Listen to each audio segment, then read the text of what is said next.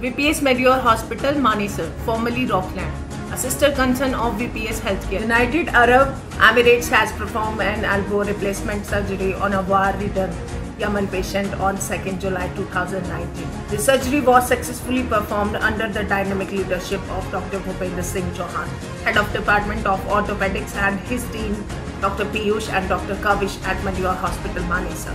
Medeor Hospital, Manesar and Kutab have treated more than 600 Yemen patients in the year 2019 with support of their corporate head office based out of Abu Dhabi.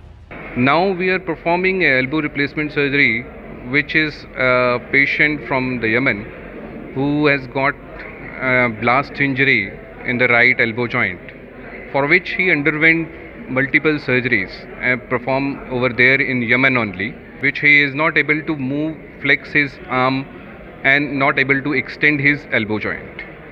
Right now this patient is sitting behind me.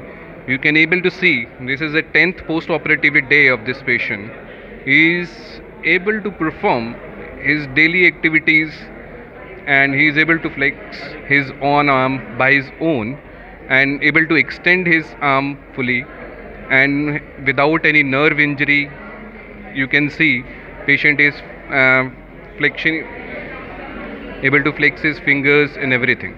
Say it ranges from 3 lakhs to 5 lakhs depending upon the type of implant and the type of surgery you are doing uh, during the elbow replacement surgery.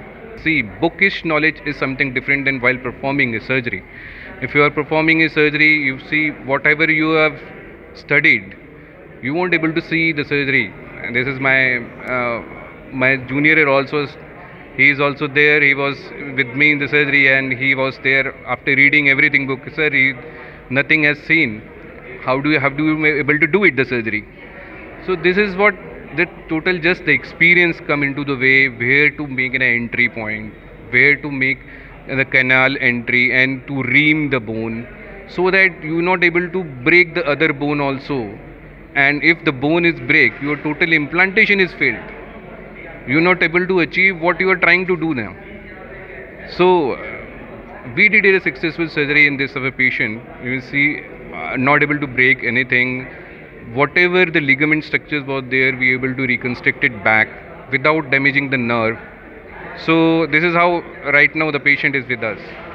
Please do consider for the elbow replacement surgeries this is a successful surgeries which happening regularly now in india also. So there is a myth that after the operation it is not able to success. We are uh, we are not able to achieve the success rates uh, very good. But now the success rates are very high. And you can easily see how how you able to easily do each and every activities within a few days after surgery. So i just want to say if you have the problem if you have such kind of issues just like people's having a rheumatoid arthritis or a post-traumatic contractures this is the surgery for the patient who needs full restoration of the life وبعدين اسعفت لمنطقة الدريهمين والحمد لله وجيت لهنا والدكتور الله يحفظه اخوانا الدكتور صلح لي العملية ان شاء الله والحمد لله الان ما في الحال He has several operations in Yemen, Jordan, and he he was he was not fit to move his elbow, but now Alhamdulillah he, he is able to move his elbow and he is very happy.